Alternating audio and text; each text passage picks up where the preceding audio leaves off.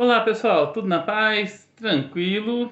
Bom, eu estou aqui para a gente falar um pouquinho sobre o tema da nossa aula de hoje, que foi a globalização. E ficou faltando a gente falar, nós não conseguimos chegar nessa parte, né? Que foi os aspectos positivos e negativos da globalização. Eu vou tentar ser o mais sucinto possível, o mais objetivo possível, né? Para entrar no entendimento sem que o vídeo fique bastante longo. Então vamos lá então. Deixei uma colinha aqui na lateral que é para eu não me perder. Vamos começar com os aspectos positivos da globalização.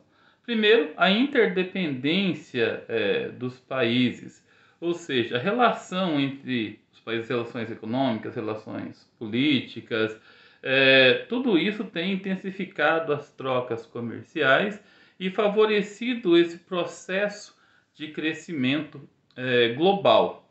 Uma outra característica muito interessante positiva é uma maior circulação de mercadorias, de bens, de serviços, de capitais produtivos.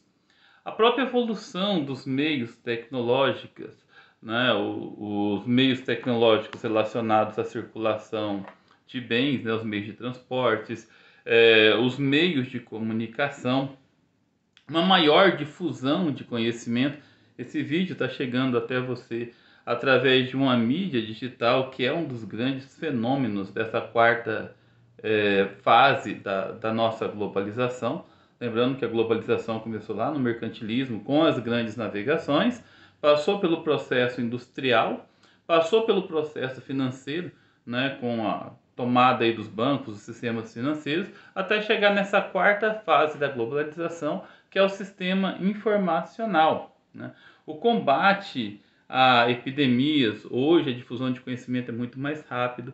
Então, quando tem uma epidemia ou uma pandemia, como foi o caso do, do Covid, né?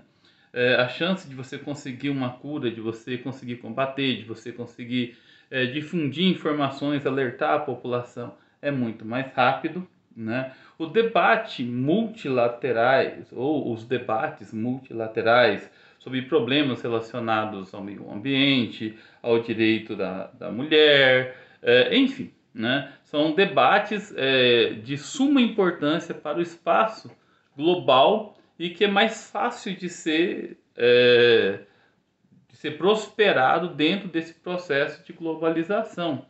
Né? A internet entra aí como uma ferramenta essencial para que esse processo continue dessa forma. Internet tem muitos aspectos negativos? Tem.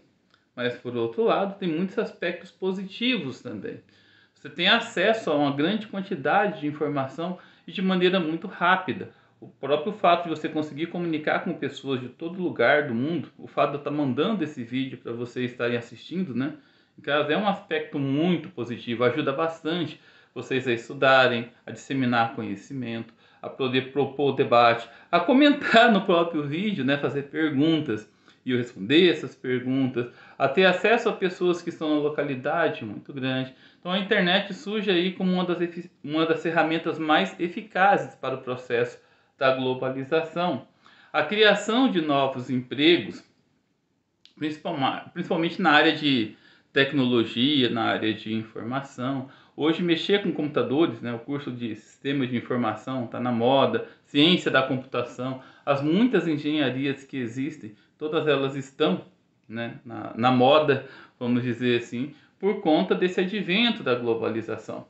O crescimento econômico dos países emergentes, países como o Brasil, China, Índia, África do Sul, Indonésia, Turquia, México, são países grandes produtores de commodities no mercado internacional. E por conta da demanda global, esses países têm crescido muito economicamente. E muitas empresas eh, dos países centrais, dos Estados Unidos, Canadá, Inglaterra, Alemanha, estão procurando esses países por conta da oferta de matéria-prima, da oferta de mão de obra barata, pela oferta de mercado consumidor. Esses países centrais estão levando a sua tecnologia para os países emergentes e favorecendo o crescimento desses países emergentes. Pessoal, os aspectos negativos da globalização eu vou deixar para o segundo vídeo, né? porque esse já está chegando a 5 minutos, vai ficar muito grande. A intenção desses vídeos é ser o, o menor e mais sucinto possível. tá bom? Então, daqui a pouquinho eu encaminho o segundo vídeo falando dos aspectos negativos da globalização, beleza? Até daqui a pouco. Valeu, gente!